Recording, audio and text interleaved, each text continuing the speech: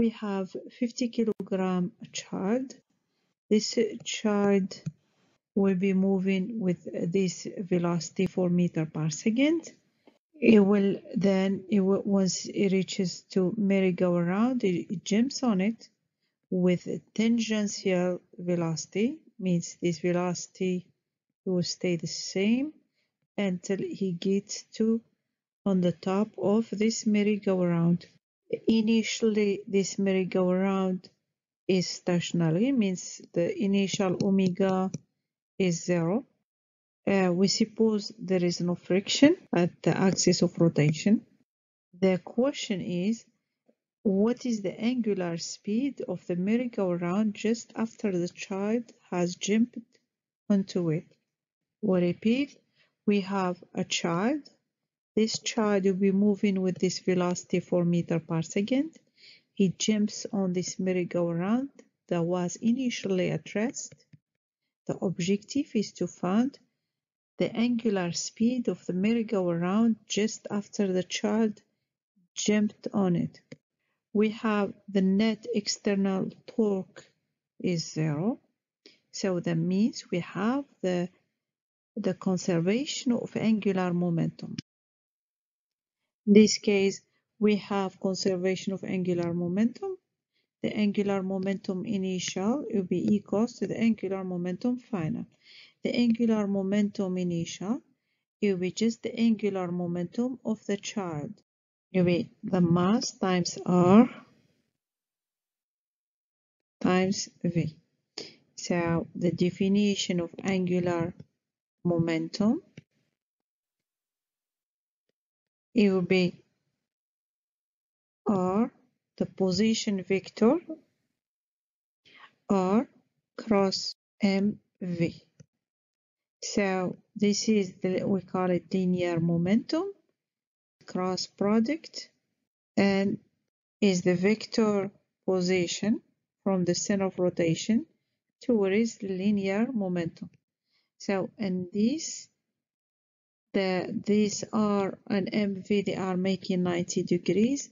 The magnitude of this angular momentum will be just in in this by definition the magnitude of this will be R times MV times sine of theta.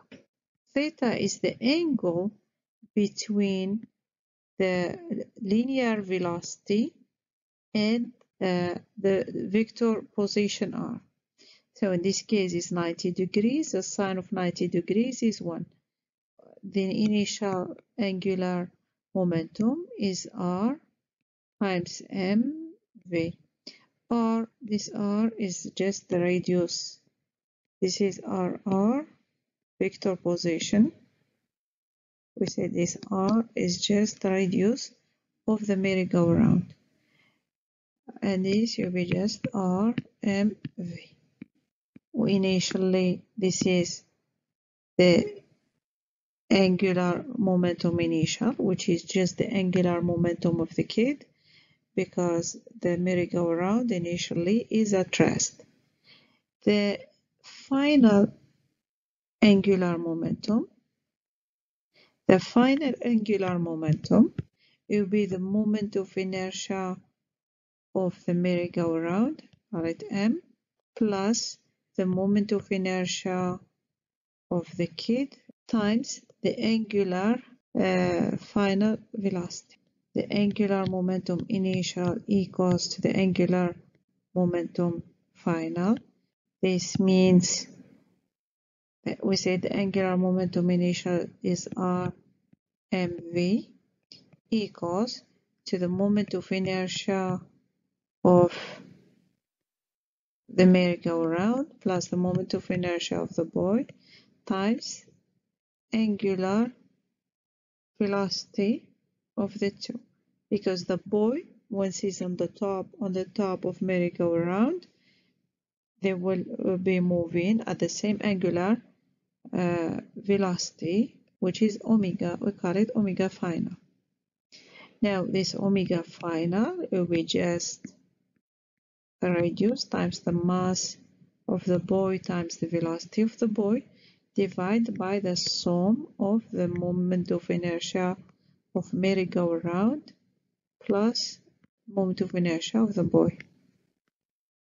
So this is what will be the angular velocity final of the boy and the merry-go-round.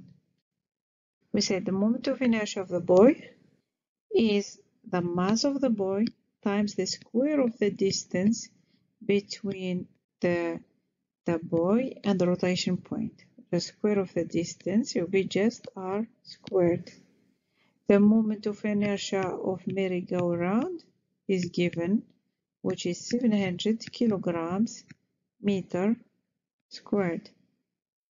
The angular velocity will be omega f equals r we said is 2 meters the mass of the boy is 50 kilograms.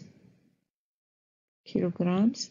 The magnitude of velocity of the boy is 4 meters per second. The moment of inertia of merry-go-round is 700 kilogram meter squared. The moment of inertia of the boy is the mass of the boy, which is 50 kilograms, times the square of the distance, 2 kilograms times the square of the distance, which is 2 meters squared. 400